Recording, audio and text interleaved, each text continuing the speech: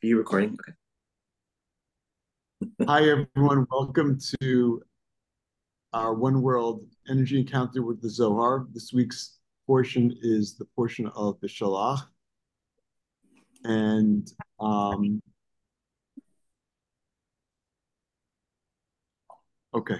And um, let's begin by inviting in the Kabbalistic lineage of the Rav and Karen Michael, Rav Ashlag, Rav Brandwein, the Uriah Kodesh, the Ramchal, Rav Tafon, Rav Mizulai, Rav Menachem Mendel Tepsk, Rav Kolonimus Shapir Piasetzna, the Baal Shem Tov, Rav Shimon Bar Yochai and all the students, Rav Mordechai of Chernobyl, Rav David of Kal Kalamai, a student of the Baal Shem Tov, one soul with Yosef Tzadik and Shechem. We invite them in to get their assistance and guidance on our study.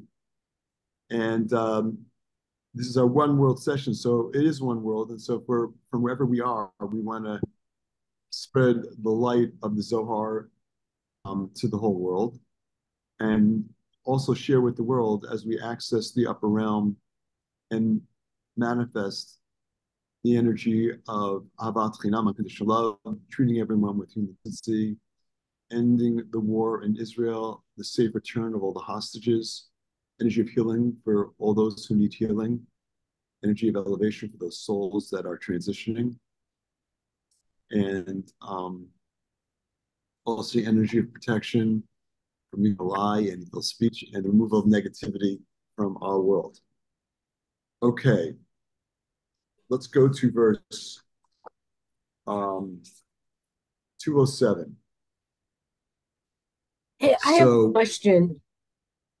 Yes. Well, I'll wait. I'll wait. 207. You can ask your question. Does someone want to, want to volunteer today? It's I, I, you know, I'm sorry, I had a brain freeze. It's about vodka. I'll ask later. Not vodka. Okay, save that one. Andrew, do you want to read English first today? Okay, great. So this is a big week.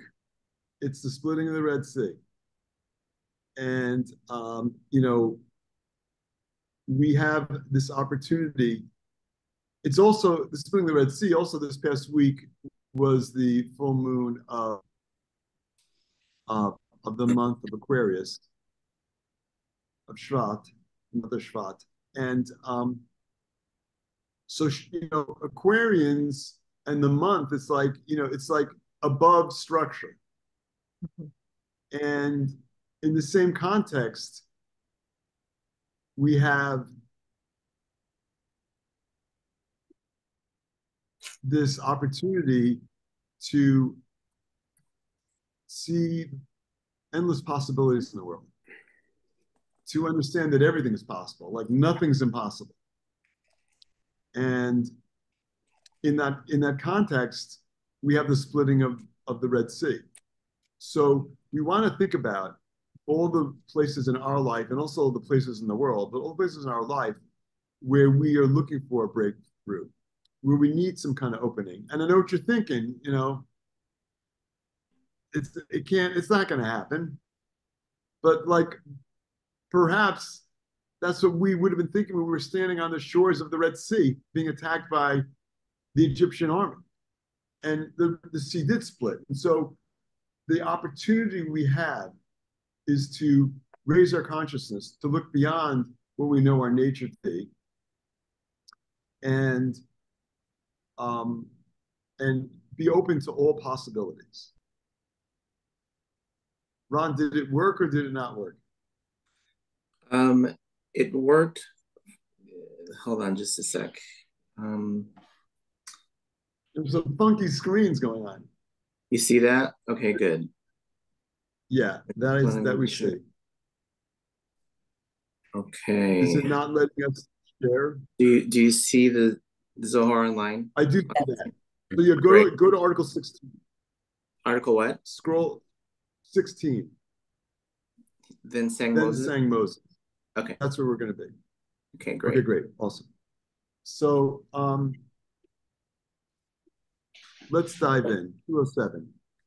Az Yashir Moshe, Rabbi Yehuda Batach, B'terem Atzercha, Babeten Yidaticha V'gomer. Zaka'achula kehon Yisrael, tkucha brichu, itra'e buhu yatir mikol sha'ar amin. Umisgiut rechimuta derachim, lahu, okim alayo nevi'ah dikshot, Raya Mehamana. V'idara lebucha kadisha. Yatir mikol sh'ar nevi'e mehamanuta. V'apik le mehulake mamash. Mimad afrish Yaakov mibnoi lekuchabrichu. Shifta de levi becheven dahava levi dile. Natal le kuchabrichu. Va'ater le bechama itrin. Mashach le kimshach. Revut kadisha dileila. V'chodin apik mibnoi. Rucha kadisha le'alma. V'zariz le behem noye kadishe behamenuta rabbah. Andrea? Then sang 207. Then sang Moses, Shemot 15:1. Okay. So wait, before we go any further, so this is uh, then sang Moses. This is Az Yashir Moshe.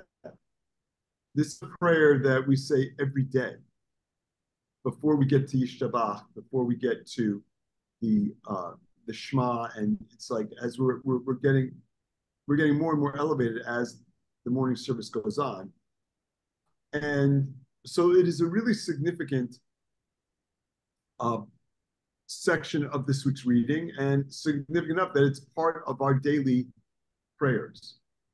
So, what's the significance of Moses and then Moses saying? Well, on, on one level, we're dealing with the splitting of the Red Sea, and we're dealing with this amazing assistance that the Creator has given us. And these are things that we've studied about before. And as we approach the Passover holiday, there's a lot of these important revelations, important studies that that we do, so that when Passover comes, we're in the best position possible to connect to the opportunity that's there. But this again is about Moses. So continue. Rabbi Rabbi Yehuda opened the discussion saying, Before I formed you in the belly, I knew you.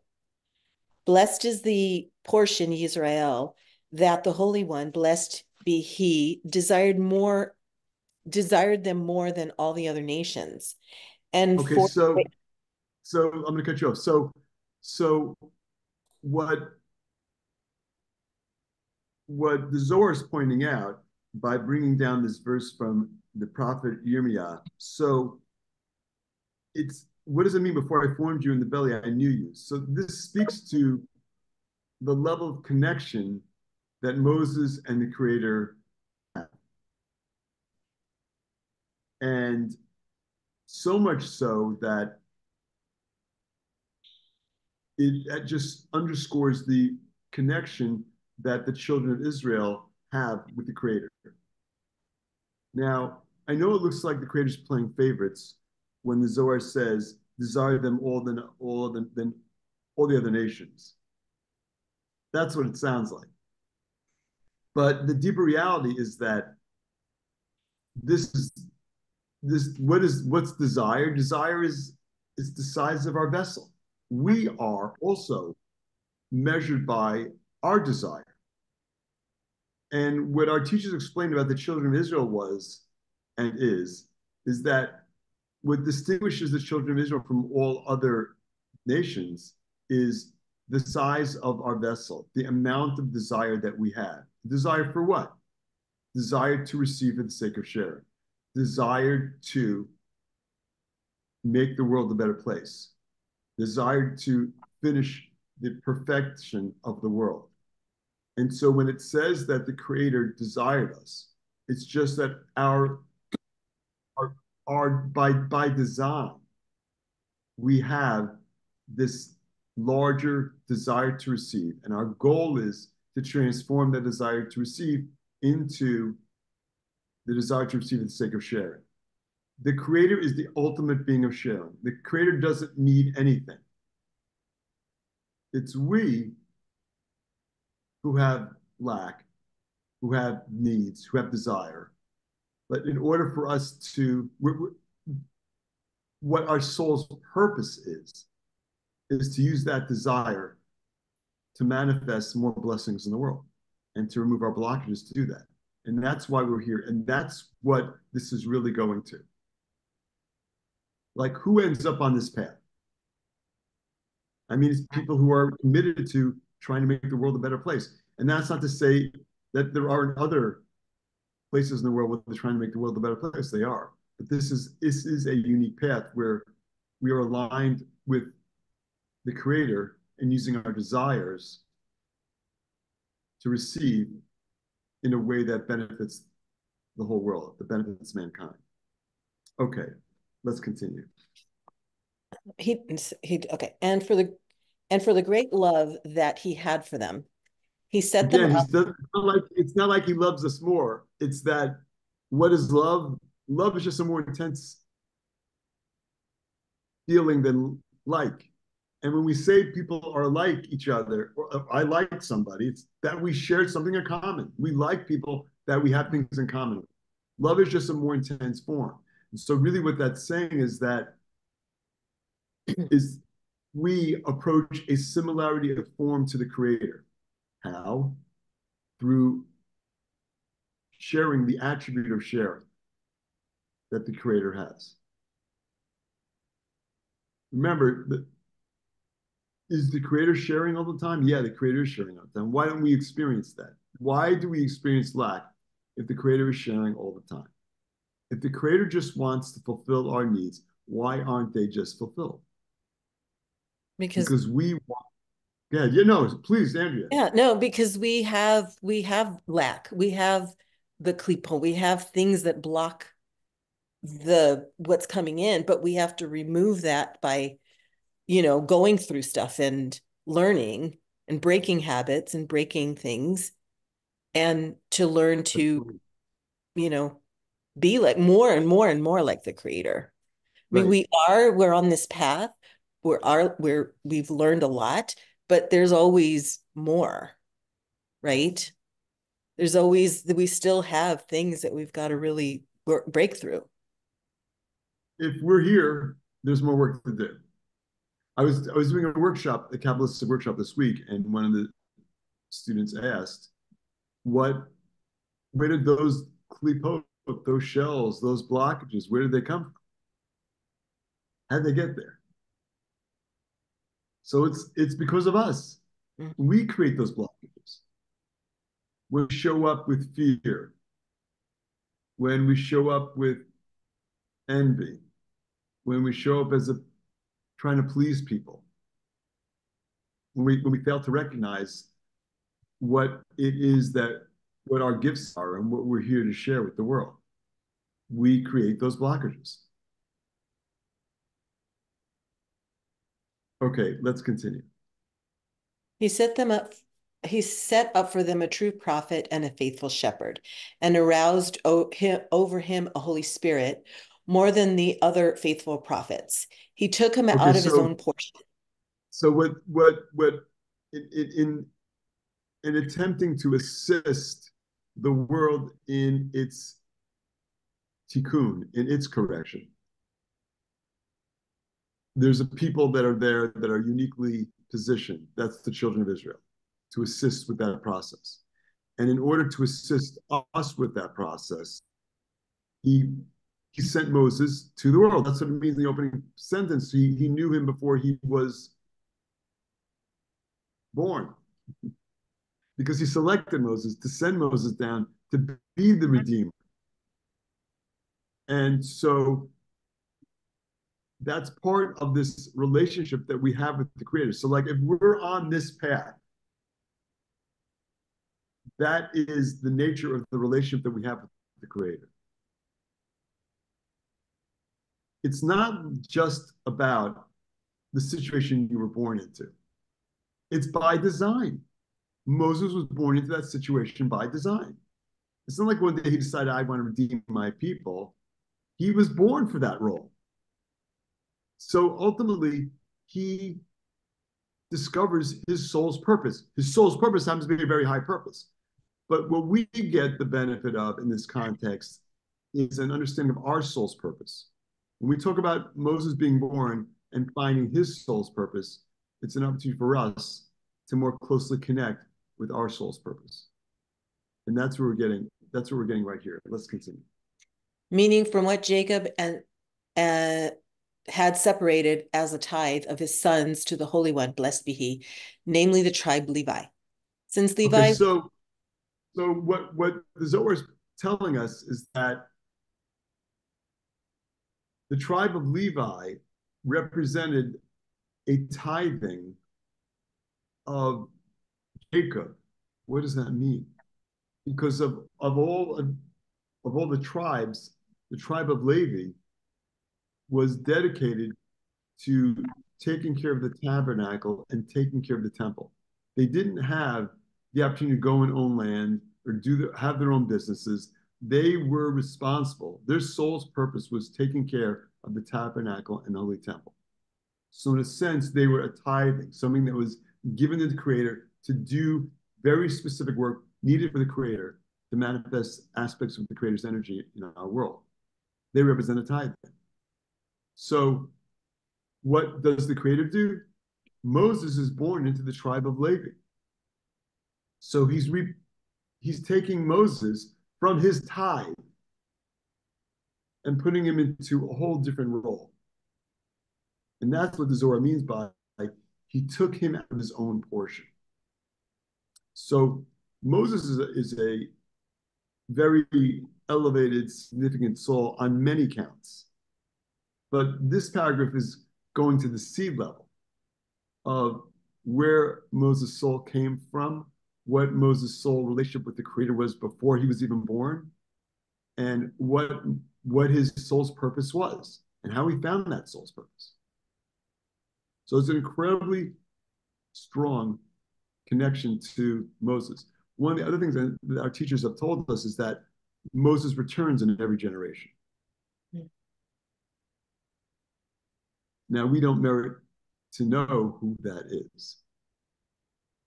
But that faithful shepherd, the Kabbalistic name, nickname for Moses, is always there and always available. And so we're, we're connecting to that now also. You know, there were many prophets, but we also know that no prophet rose to the level of Moses. Okay, keep going. since Levi was his, the Holy One, blessed be he, received him and adorned him with many crowns, and anointed him with the holy anointing oil of above. And then he produced from his children a Holy Spirit into the world and girded him with his holy girdles of the great faith, which is Binah. Okay, we don't often read about holy girdles, but in this context, this is about strengthening Moses with the Creator's energy. And so, and we see this in Moses. We see throughout the whole, you know, redemption from Egypt, what Moses did and how he showed up. And how he confronted all these difficult situations and managed them and spoke directly with the creator. He was, as they also say, half man, half angel. So his soul was a very elevated soul. Let's continue. So, like for us, though, this is about A, connecting to the soul of Moses. This is also connecting to getting the guidance that the children of Israel get from these elevated souls. And so for us, it's an opportunity to get the guidance and also to connect to our soul's purpose, much in the way that Moses did. Can I ask a quick question before you start? Um, what is the difference between a Levi and a Kohen? Great question. So there were 12 tribes. Mm-hmm. 10 of them are lost. They're known as the 10 lost tribes. And if you go through the books of Tanakh, the books of, uh, of the prophets and, uh, and the following writings, the, the story is laid out there how the tribes kind of went off the path and disappeared. Now we're taught that they're still around, but we just don't know where they are. Those members of those tribes probably don't know who they are. We may be encountering them all the time. I, I don't know. The two tribes that survived are the tribe of Judah and the tribe of Levi. When the tabernacle was dedicated, and this goes into the story of the prophet Moses, when the tabernacle was dedicated Aaron was given the job of high priest. Mhm. So all priests today, all Kohens, come from Aaron. Okay. And from Aaron, they also come through Pinchas. All priests. And there's actually a genetic test that you can take to determine if you're really a Kohen or not. There's a there's a genetic marker. And people who are confused about whether or not they're Kohens or not take that test. But didn't didn't they have similar duties as the Levi Levi Levi? Like they didn't No, no, they didn't. The Levites were responsible for kind of like general work around the temple Oh, and the okay. tabernacle. The priests were specifically responsible for much more elevated tasks, specifically the the um,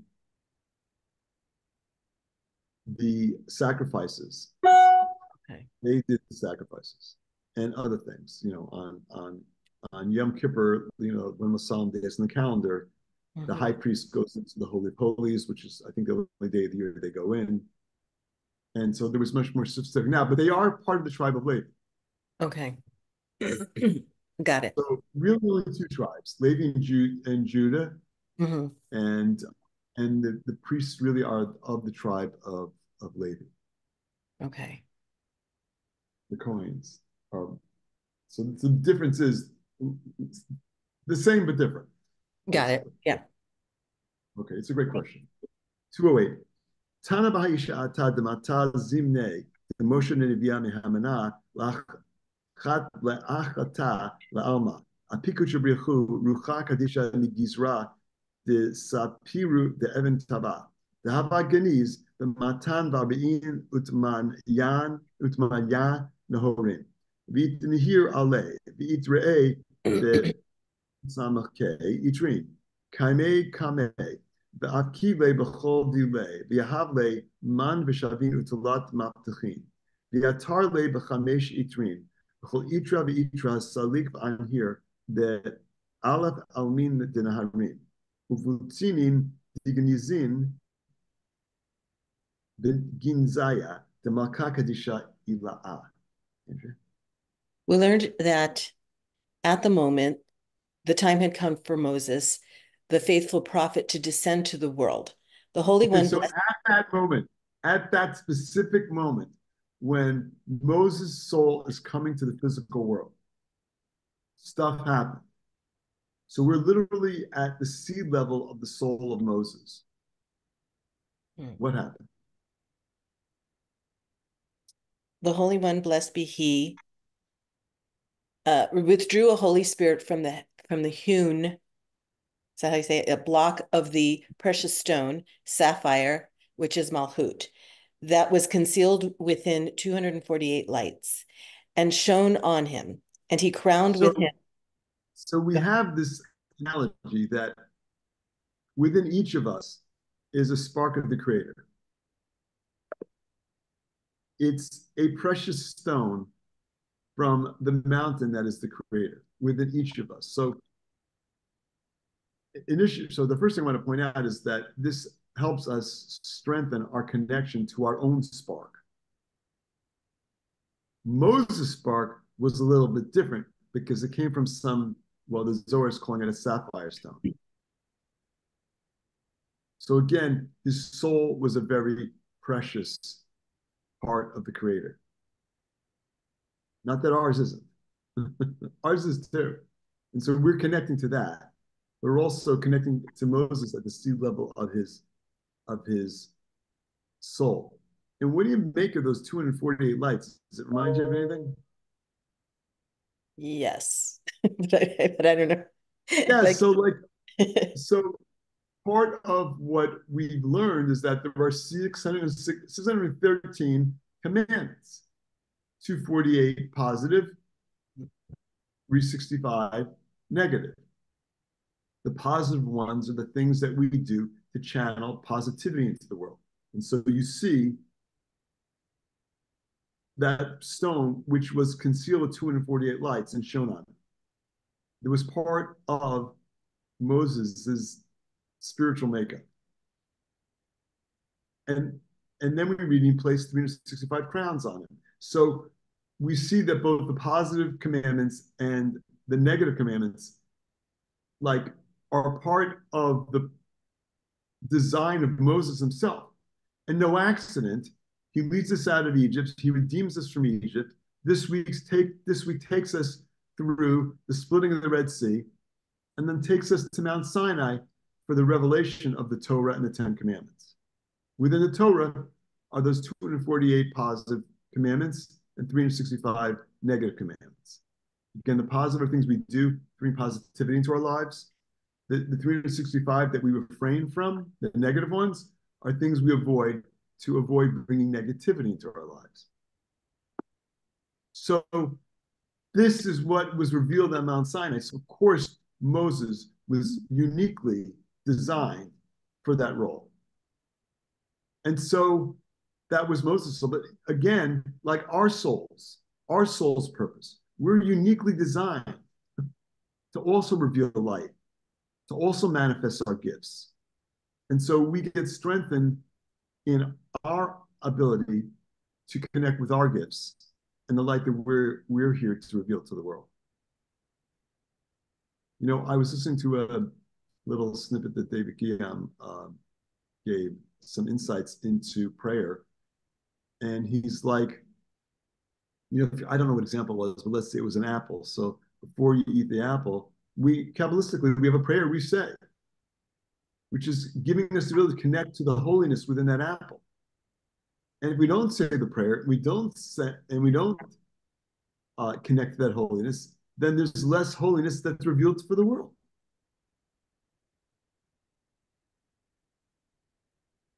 So everything we do is an opportunity to reveal light in the world. But there are prescribed methods for doing that. And so the reason why we do it is not because we're just supposed to.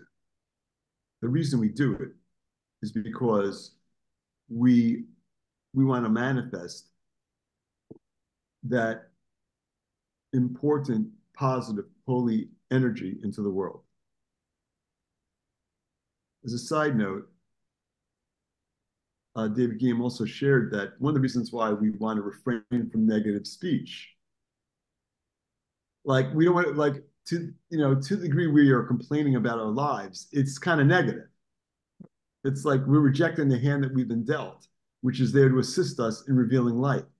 So when we speak in a negative way about our experiences, negativity attaches to our tongue.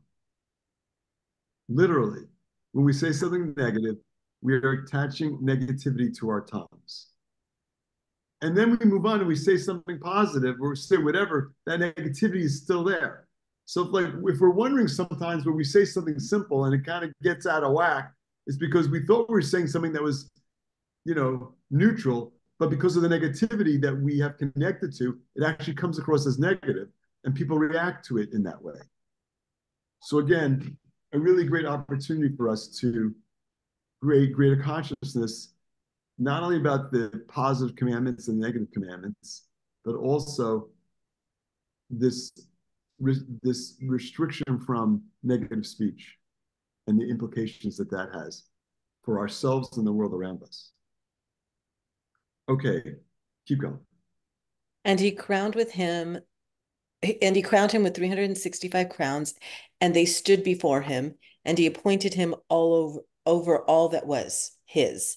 He gave his. So, so Moses gets the job of being in charge of everything that's the creator in this physical world.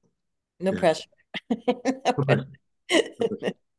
um, uh, remember when remember when, Mo, when when Moses escapes Egypt and he goes and he's you know he's a you know he's working uh, the flock he's shepherding the flock of his father-in-law um he one day he sees that burning bush and he goes and he sees the bush and the creator's like listen uh, I need you to go back to Egypt and redeem the people and he's like whoa he he doesn't want to do it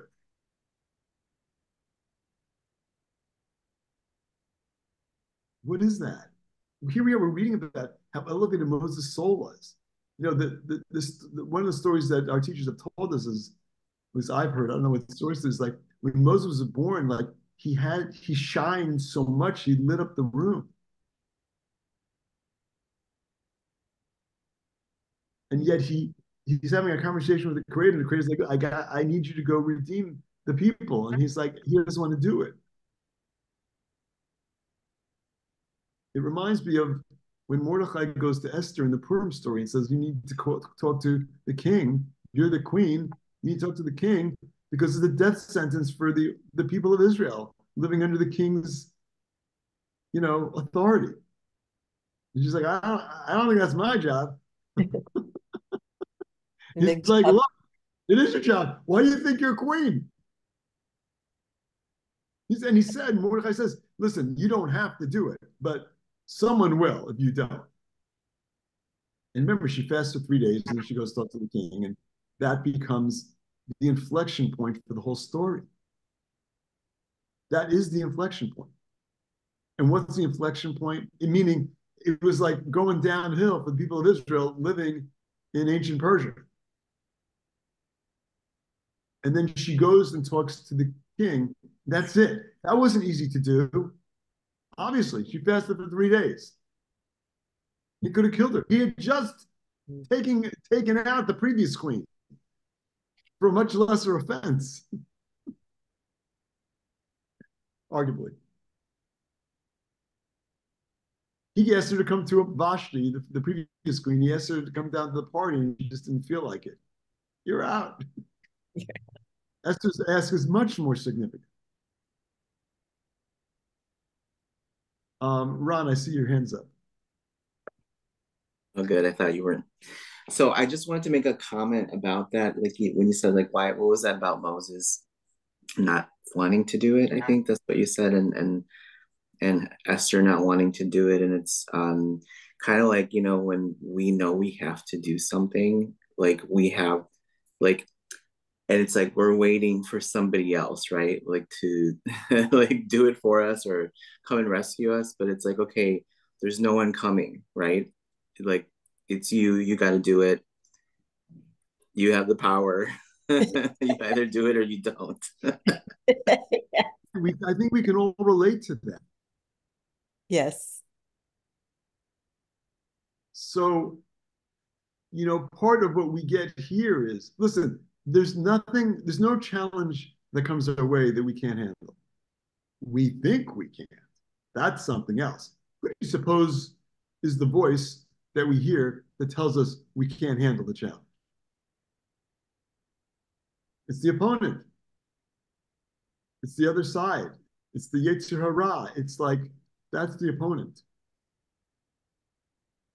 Who's trying to keep us from revealing the light that needs to be revealed. So, and I don't know if any of our roles will rise to the level of Moses.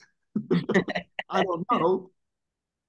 I'm just saying, in this context, we also connect to our internal ability to meet the challenges that come our way. But it's a consciousness. We, it's a it's a consciousness. We, we have the skill set. We wouldn't be in this situation. We didn't have the skills to do it. We didn't have the spiritual impetus to do it.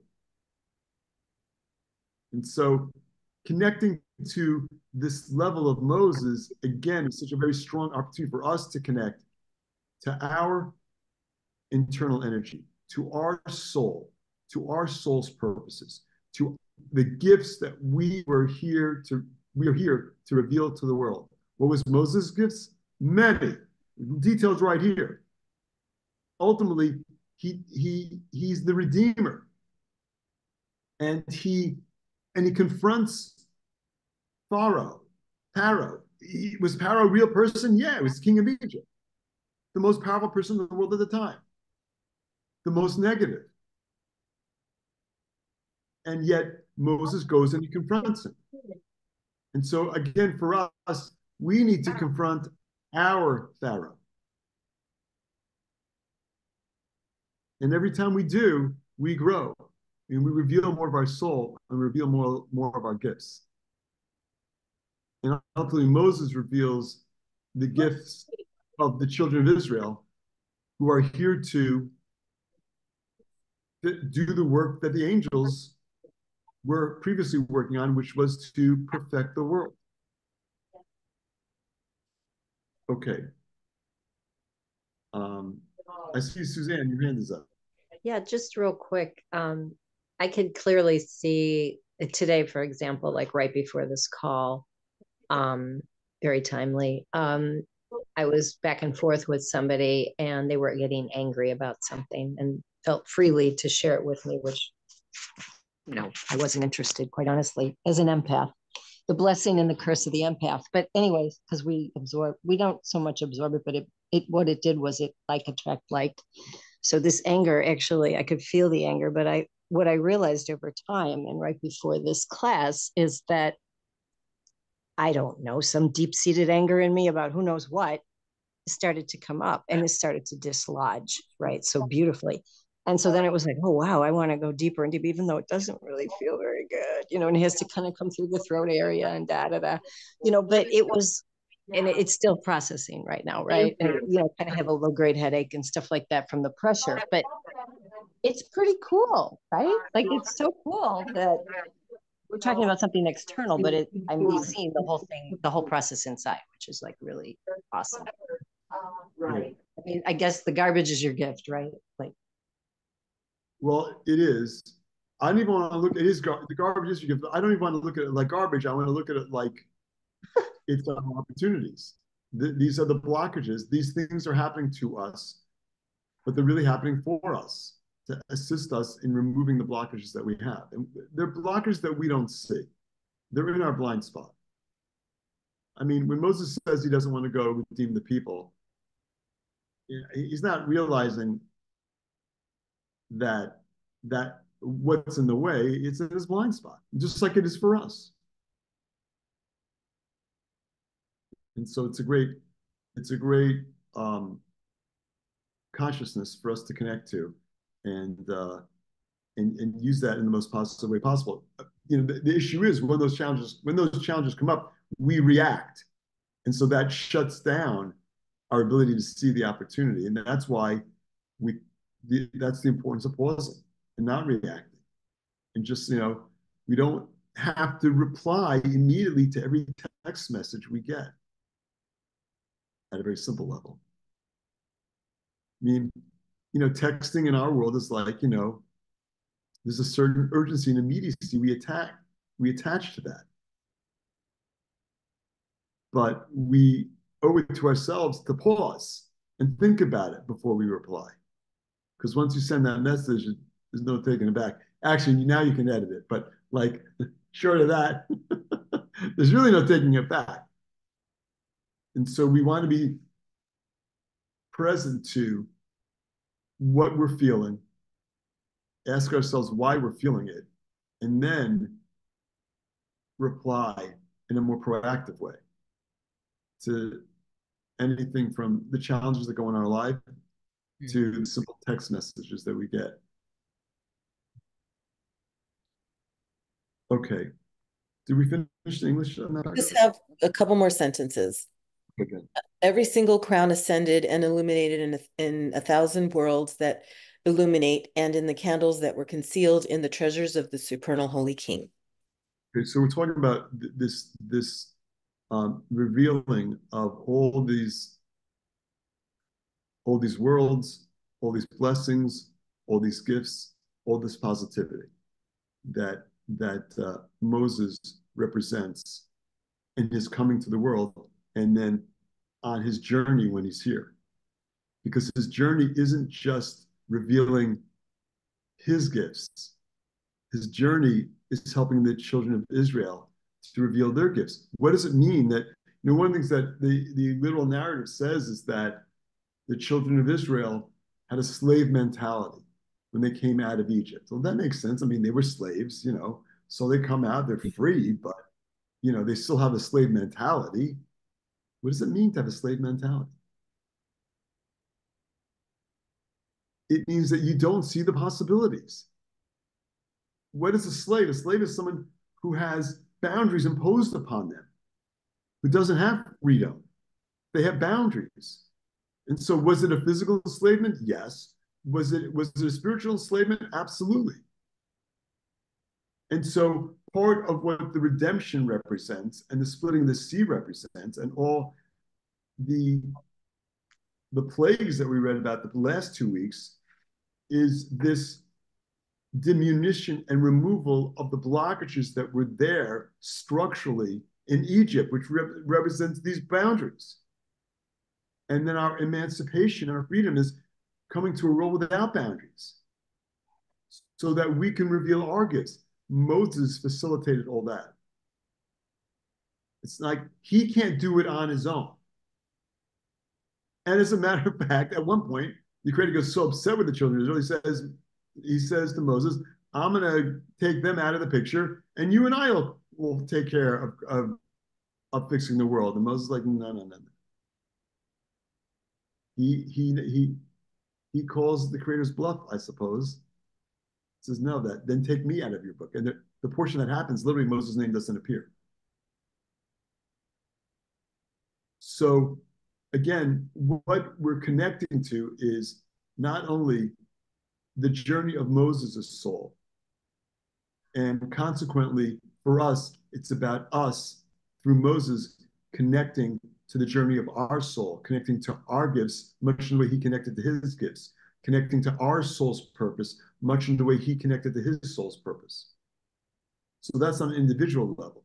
But on a, on a global level, just as Moses freed the children of Israel, redeemed us, so too we have this opportunity to do our global work. And so here we are studying the Zohar, praying for peace in Israel, peace in the world, praying specifically for the release of all those hostages, hostages safely, praying for protection, energy protection for everybody who's in harm's way, all the innocents that are in harm's way, and and movement towards a world where bila mavel netzach, the, the, the, it's the end of death, and we manifest fulfillment and immortality and healing for our whole world. So uh, with that, we'll wrap.